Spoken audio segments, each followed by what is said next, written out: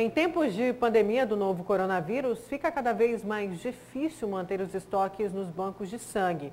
E para atrair doadores, o MT Hemocentro firmou uma parceria com uma loja de produtos naturais que vai entregar produtos exclusivos para cada voluntário.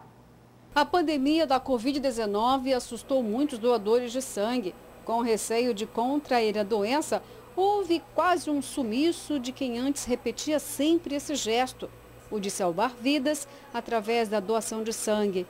Mas a Elisa rompeu a barreira da insegurança, veio ao Hemocentro cheia de coragem e encontrou um protocolo de biossegurança que a deixou bem tranquila. As pessoas já estão um pouco retraídas por conta da pandemia, mas por conta do agendamento eu não, não vi nenhum impedimento para poder vir doar. Inclusive, quando eu fui vendo as pessoas vindo, eu me informei certinho, agendei, confirmar o agendamento. Eu cheguei, não, não tem superlotação, tem espaço, tem distanciamento, então não vi nem nada que pudesse nos prejudicar para fazer doação. Este outro doador também resolveu repetir esse nobre gesto e ficou sem medo de contrair o novo coronavírus. Já estou habituado, dou de livre, espontânea vontade, viu? Há quanto tempo o senhor repete esse gesto? Eu acho que já tem uns cinco anos já cinco anos e, e ligam para mim, agendam tudo com o protocolo de segurança certinho, sem problema, tudo perfeito. É, mas a onda de contágio afastou muita gente e os estoques ficaram abaixo do ideal. Faltam 30% de pessoas fazendo a doação de sangue. Quando nós fazemos as campanhas de sangue, qual que é o nosso foco?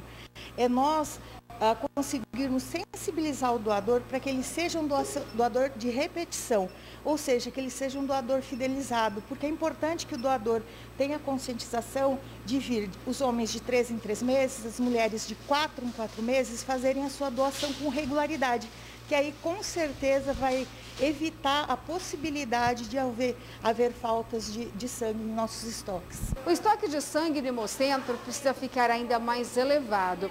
É que já se aproxima um período crítico, o um final de ano.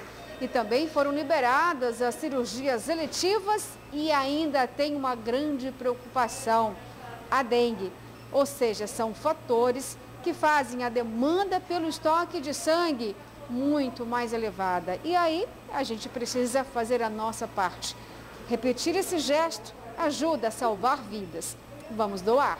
Todos, é importante que todos venham fazer a doação, porque hoje nós temos uma, uh, o estoque de B positivo, está tranquilo, mas amanhã pode já não estar, porque diariamente vai, vai saindo uh, bolsas de sangue para todos os, os municípios do, do estado do Mato Grosso. Então, no final da tarde pode ser que esteja invertido isso, já o B positivo não tenha tanto quanto agora. E se você precisa de um estímulo a mais para ser um doador, o Hemocentro e uma loja de produtos naturais te ajuda.